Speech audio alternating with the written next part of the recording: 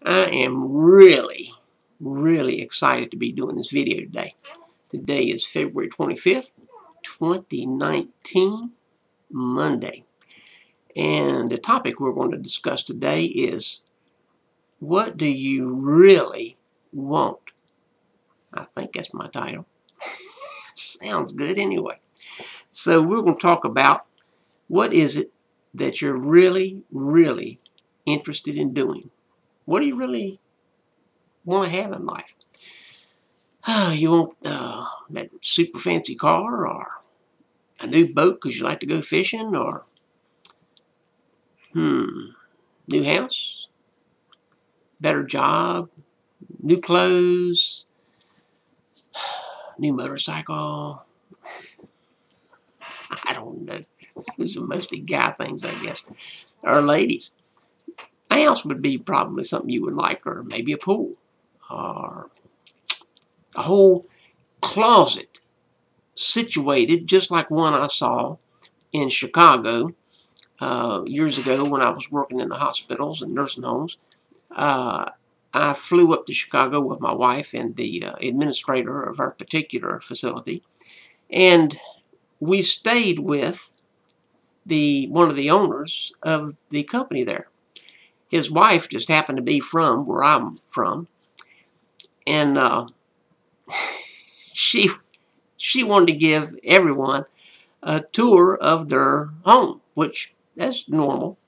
So uh, we were all walking around, oohing and ahhing. Wow, ooh, man, you know, I mean, this place was literally a castle that they had taken apart stone by stone, had it shipped to America, and rebuilt. It was incredible. It was incredible. Oh, but the part I'm getting to is her closet. man, man.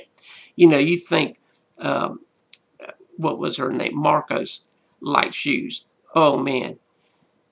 This lady, who's same age as me at that time, uh, she had a three-story, let me say that again, a three-story closet. She had a ramp that led on up to the upper store. She's only like five foot two. So she needed the ramp. But anyway, I would have needed a ramp I'm six feet tall. She had matching clothes, matching shoes, matching slips, matching hats, matching everything.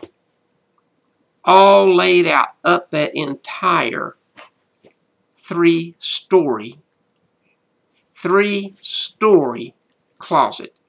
And it was jam-packed full, neatly, but jam-packed full. That's something she wanted. And she got it her husband made millions of dollars a year. It get her anything she wanted. That's what she wanted. I mean, that was her big deal. When we were downstairs and we opened the Sub-Zero, do you guys know what a Sub-Zero refrigerator is? They're expensive. Sub-Zero refrigerator. Opened them up. In there was a pack of cheese, a Perrier water, and a quart of milk. That was it. Because he ate out all the time. It was, it was incredible. So beautiful, beautiful, beautiful home. Beautiful. I, it was, it was beyond anything most of my friends have ever even seen. I was fortunate to get to see that place. Uh, they lived right down the street from Mr. T. Any of you older people that ever watched the original A-Team know who Mr. T is. B.A. Baracus, you know, anyhow.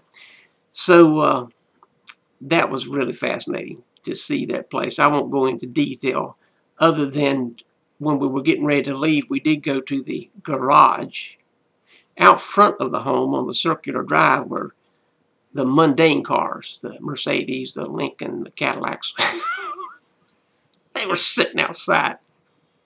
In the garage was a vintage looked like it rolled off the showroom floor 1937 Rolls Royce convertible. And beside it was a brand spanking new Rolls Royce convertible. Same color, same saddle interior, same everything.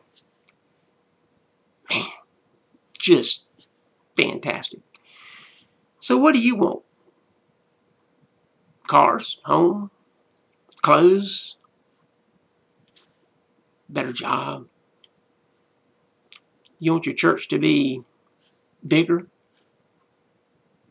Do you want your people in the congregation to be more into worshiping? Do you want your kids to mind? I mean, really, what do you want? Well, some people try to demand, force, beat children into submission or beat their congregations into submission or whatever. They try to finagle um, getting good with the boss so they can move up. There's all sorts of stuff out there. What I have found, yeah, I'm 69 years old, what I have found over all these years, and I know there's a couple of years than me, but anyway, listen to me. What I have found is when you do your best, when you have the best interests of others at heart, the best interests of the company, the best interests, interests of the church, the best interests of your family, the best interests of your friends, the best interests of other people, good things come to you. I talked, and I've talked before, and I'm going to say it again. How you tip will determine your wealth and your happiness in the future. The standard tip nowadays is 15%. Of course, I guess most people know that. Let me tell you, I don't leave 15%. I go in, I judge my tip by my service now, I don't get carried away with percentages because if I've got a $100 bill, you know, receipt, I'm probably not going to leave a $20 tip. Can't see it. I might leave, I might leave a $15 tip. Maybe. However, I go out to lunch a lot. Usually my lunch is about $10. I always leave a $5 tip. And you're going, oh, me, that's 50%.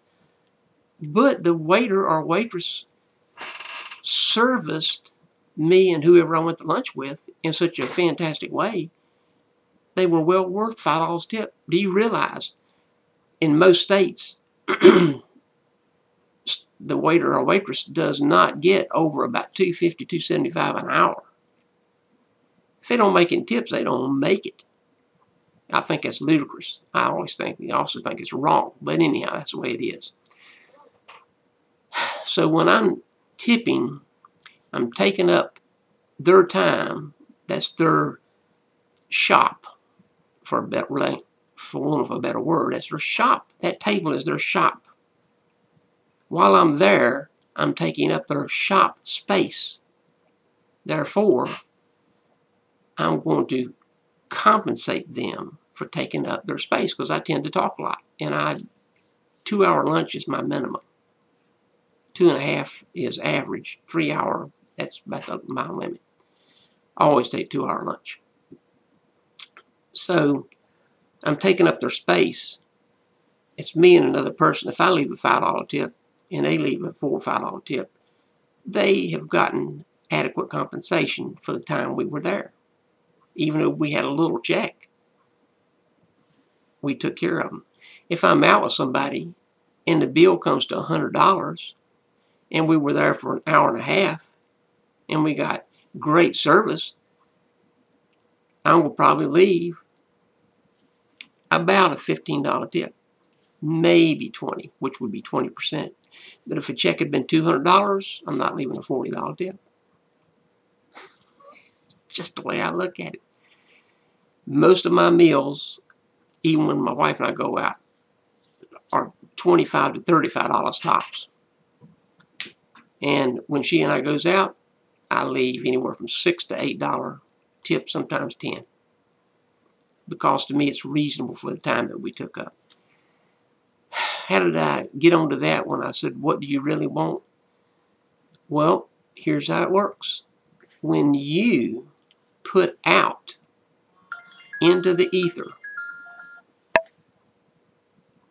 wealth, health, good feelings, goodwill, it comes back to you.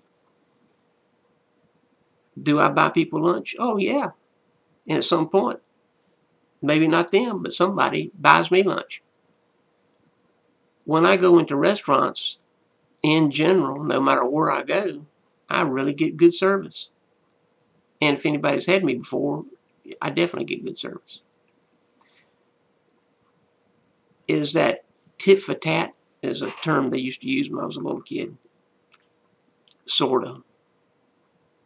What you put out into the world is what you're going to get back. Comes right out of the Bible. All of you Bible scholars out there already have probably got the scriptures popping in your head, so I don't need to go into them. What you put out in the world, even if you're not a Christian, is what you're going to get back. Do you understand that concept? If you put out goodwill, you're going to get goodwill sometimes going to get bad will, and you're going to be like, wait a minute here, I'm, I'm a good guy. I'm a good girl. Why am I getting all this bad will? Well, it's out there. You're probably not getting it because of something you did. It's not karma. That's a misunderstood word, but I won't use it in this context. Somewhere that person is putting out bad will and it's going to come back to them. You just happen to be the recipient of that, which it's not fun. However, how you respond, not react, respond, will determine if that bad vibe that was given to you or that bad action or that bad attitude, if you respond in a way